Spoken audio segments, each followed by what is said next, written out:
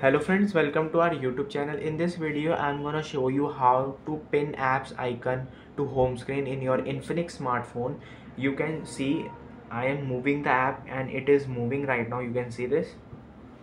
How you how you can pin that place of your uh, icon. Just long press this. I hope uh, before watching this video if you have not subscribed to our youtube channel then subscribe to it and like our video. So let's start friends just long press your home screen go to settings and here it is others. Just you have to enable this.